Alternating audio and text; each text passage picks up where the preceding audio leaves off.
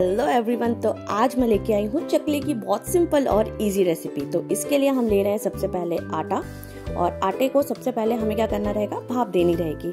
तो इस तरीके से आप पोटली बना लीजिए, और कुकर में इसकी हम लेंगे एक सीटी।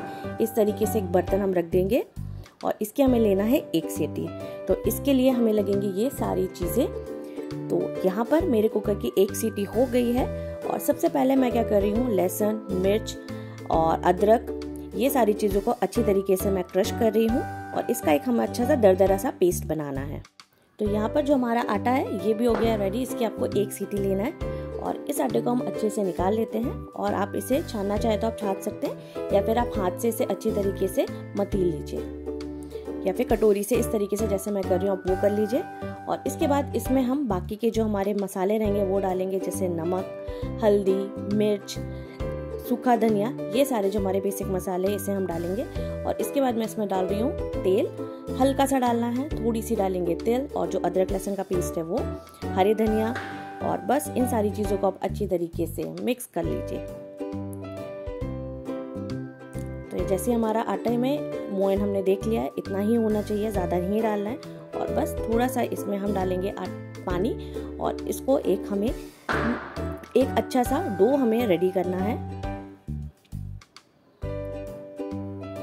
बस, ये देखिए हमारा आटा बिल्कुल रेडी हो गया है।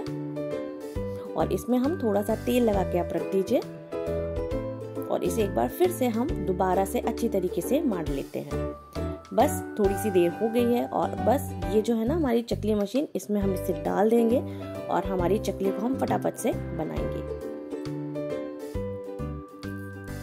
तो इस तरीके से आप चकली बनाते जाइए और इसे आप एक साथ चाहें तो लंबा लंबा भी बना के रख लीजिए और फिर इसे हम थोड़ी सी देर तीन से चार मिनट रखेंगे और उसके बाद फिर इसे हम तलेंगे। तो यहाँ पर मैंने कढ़ाई भी पहले ही गर्म करने के लिए रख दी है।